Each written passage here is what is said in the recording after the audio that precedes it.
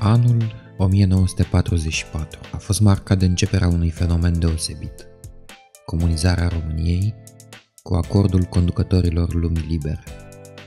Au desantat de pe tancurile sovietice sau au ieșit din temnițele burgheze agenții staliniști și au început lupta împotriva poporului român pentru a realiza o lume nouă după ideile promovate de liderul de la Kremlin. Nu aveau vreo legătură cu realitatea, dar se făceau eforturi deosebite pentru punerea principiilor utopice în practică. Teroarea și pofta de ascensiune socială au dus la dezvoltarea sistemului și statul totalitar a funcționat sub presiunea maselor de birocrați. Există astăzi în rândurile maselor populare și în cele ale istoricilor care se ocupă de perioada dominației familiei Ceaușescu o tendință de a sublinia că a fost un val de acțiuni pozitive și că acestea au avut drept rezultat o dezvoltare a economiei socialiste și astfel a crescut nivelul de trai. Este vorba de epoca începută după 1970 și de care oamenii de rând își aduc aminte cu mare plăcere și o idealizează prin formula înainte era mai bine. Psihologul Gustav Le Bon a scris că mulțimile au idei puține, ferme și greșite. Oare teoria asta se potrivește și în cazul românesc?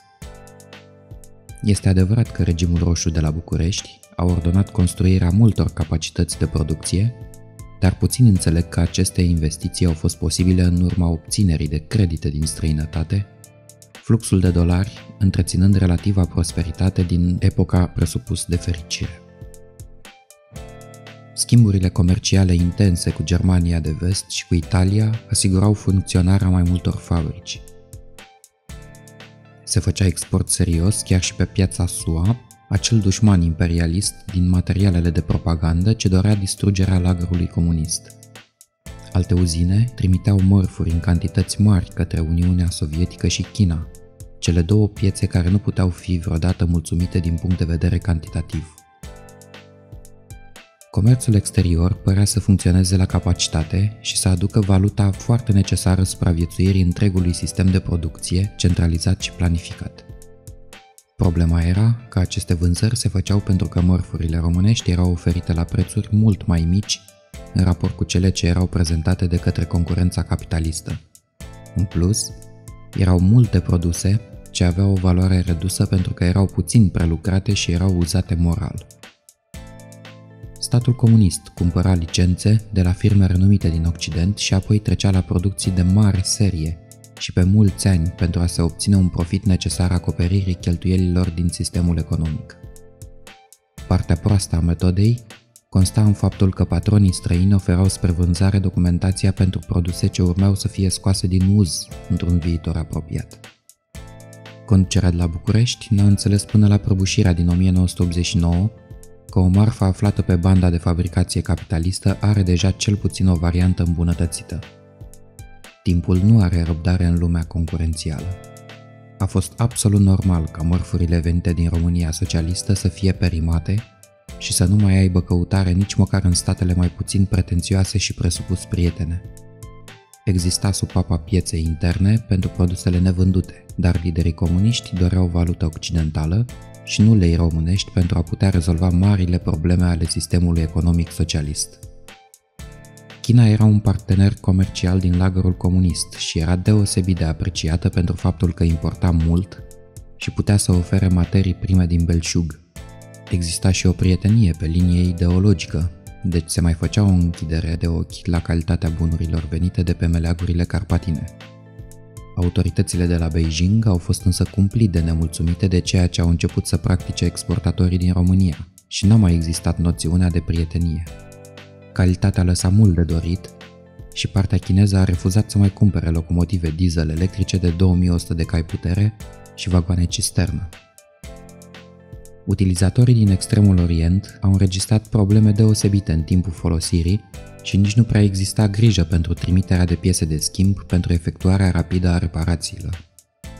Nemulțumirile erau mari și încrederea în partenerul român a dispărut. Se cerea remedierea defecțiunilor și apoi trimiterea de exemplare pentru o testare serioasă. Frăția comunistă era frăție până la afaceri pe bani grei. Forțele de securitate din China nu știau de glumă atunci când erau aruncate acuzații de sabotaj și de subminarea economiei socialiste. Era normal să se facă imediat plângeri împotriva mijloacelor de transport venite din România.